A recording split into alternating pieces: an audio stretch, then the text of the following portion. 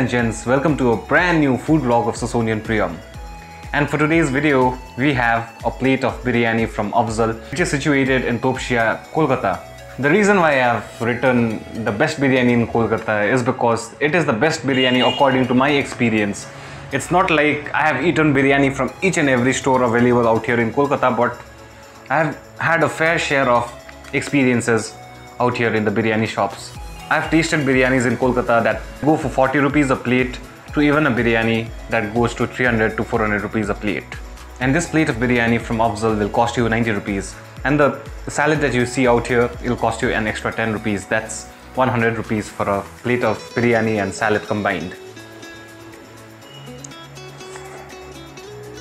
Hmm.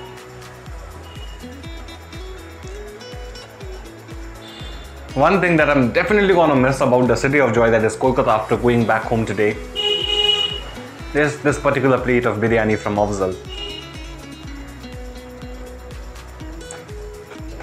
Trust me, if you're in Kolkata, you should definitely give this place a try. Topsia near Picnic Garden, Kolkata.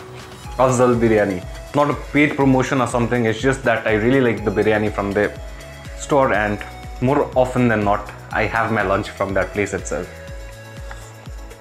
And do you want to know a very strange thing about this particular vlog that I'm shooting right now? It is the same vlog that I shot yesterday, but because there was some problem in my audio, I have to reshoot it today. And that is the reason why my plate is looking different as well.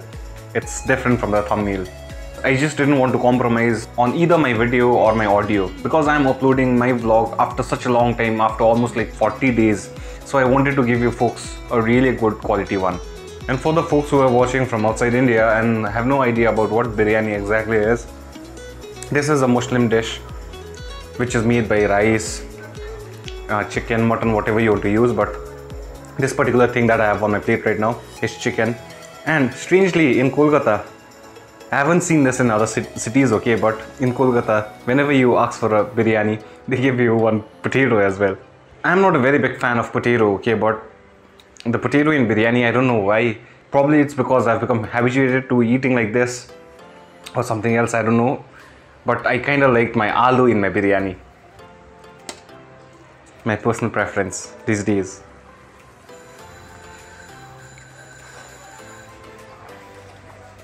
Hmm.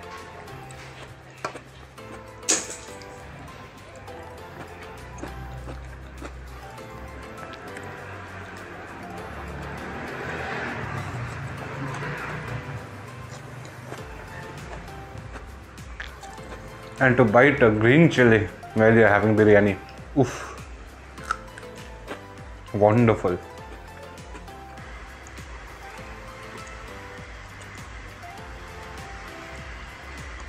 And the egg that you see out here. No, you don't get egg with chicken biryani. I boiled this at home itself because I wanted to eat an egg. So now let's address the elephant in the room. Many of you folks were wondering where the hell was I? I wasn't making any videos, whether it be travel, lifestyle, food. I wasn't making any video at all. I was like just lost. The reason being, like most of you folks, I too belong from a middle class family, and midway my laptop got spoiled. And to repair the laptop, it's not like my laptop got spoiled today, so I'm gonna repair it tomorrow, or I'm gonna buy a new laptop day after tomorrow.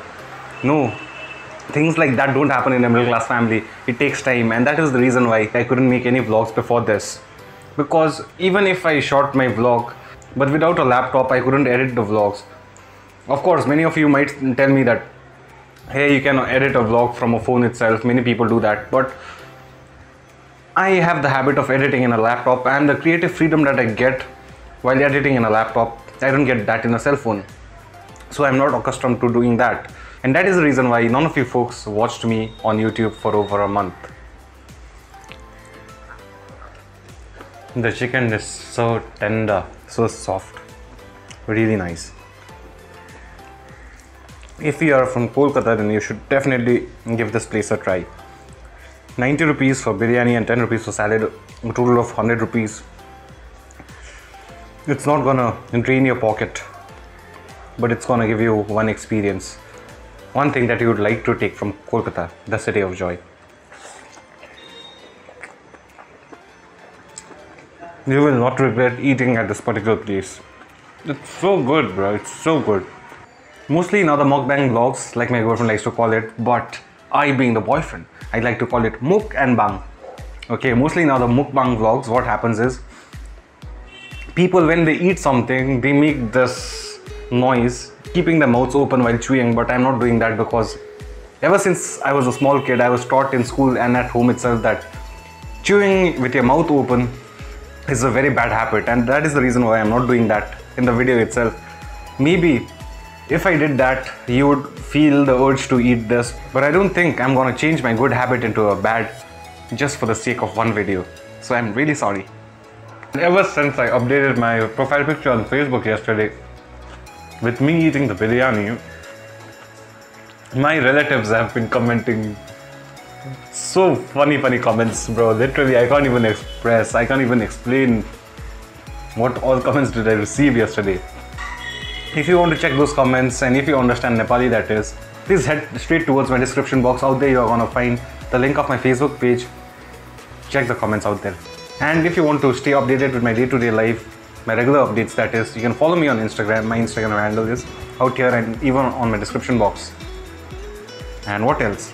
Today's vlog was just supposed to be a food vlog, but we had a little bit of pep talk as well. But I think that was very important because I was lost for such a long time, and I feel that I needed to give an explanation as to why I was lost. So this was entirely about my today's vlog. I really hope that you folks enjoyed. And until next time, this is your brother, the vlog from the hills, Priyam Gurung, and I will see you very, very soon. Till then, take care, bye bye, and cheers to life. Thanks so much for watching, and this is the end of my Kolkata chapter. But it's not like I'll never be coming back to this place. I'll probably come to this place once again in 2022 and in the years to come as well. Because once you live in the city of joy you'll always remember this place. This place will always have a special place in your heart. So thank you. I'll see you folks directly in kalimpong ciao.